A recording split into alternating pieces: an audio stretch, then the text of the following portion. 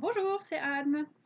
Euh, Aujourd'hui, c'est une petite vidéo de motivation que je voudrais poster parce que j'étais là il y a quelques minutes sur euh, les forums Etsy et je me rends compte que euh, les forums Etsy sont vraiment remplis de gens négatifs et de commentaires négatifs. Et euh, si on y passe trop de temps, il y a un risque qu'on se laisse influencer par ça. Alors ce sont des forums qui sont extrêmement utiles quand on a une question précise, qu'il y a quelque chose qu'on ne comprend pas et qu'on voudrait faire fonctionner. Mais il y a des centaines de, posts sur ces forums qui disent euh, Oh, Etsy euh, fait des bêtises, Etsy a changé des trucs, c'est pas bien les changements, moi je voulais que ça, soit comme avant, je comprends pas, euh, mes ventes sont en déclin, etc., etc. Et les gens se laissent influencer par ça et postent Ah oui, moi aussi, ah non, c'est pas bien, ah, c'est une théorie du complot, Etsy essaye de, de nous empêcher de vendre.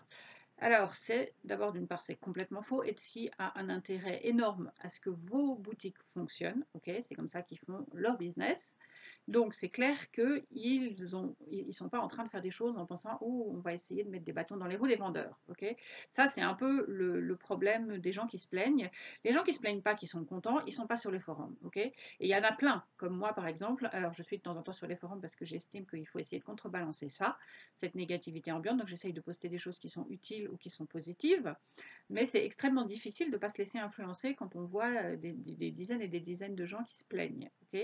Alors essayez de ne pas vous laisser influencer. Utilisez les forums quand vous en avez besoin pour des choses précises, mais il n'y a pas de théorie du complot. Etsy fait des tests tous les jours pour essayer de trouver euh, ce qui produit le plus de ventes. Donc, ce pas des tests qui sont destinés à planter votre boutique, au contraire, ce sont des tests qui, s'ils fonctionnent, vont amener plus de trafic.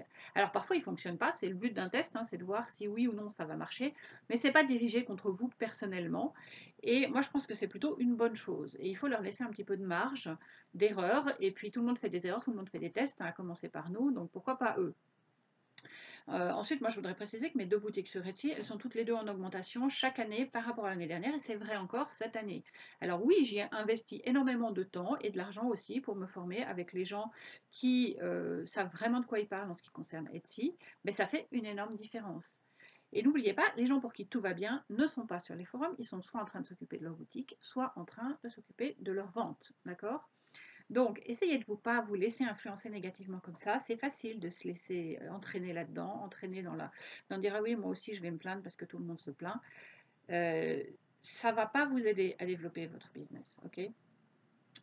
Et puis, bien sûr, Etsy, c'est une plateforme, euh, vous pouvez très bien en avoir d'autres pour vendre. Vous n'êtes pas obligé d'avoir tous vos œufs dans le même panier, même c'est même pas une bonne idée.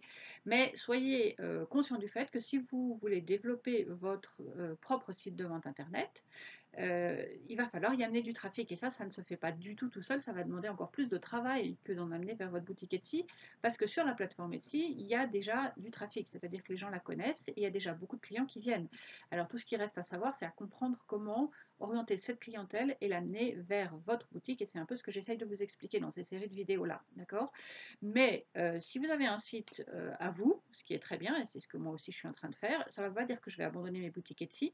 Ça veut dire aussi qu'il va falloir apprendre euh, une autre façon d'amener du trafic vers votre site parce que personne ne sait qu'il existe, d'accord? Et le SEO, donc le référencement naturel, n'est pas le même à l'intérieur d'Etsy pour l'amener vers votre boutique euh, et à l'extérieur pour amener le trafic depuis Google vers votre site internet. Donc tout ça, ça va demander énormément de travail également.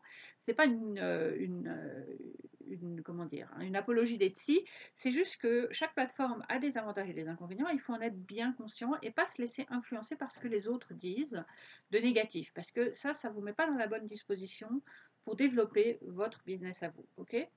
Alors, j'espère que euh, le petit pep talk du lundi là sera utile pour vous. N'oubliez pas de vous abonner avant de partir.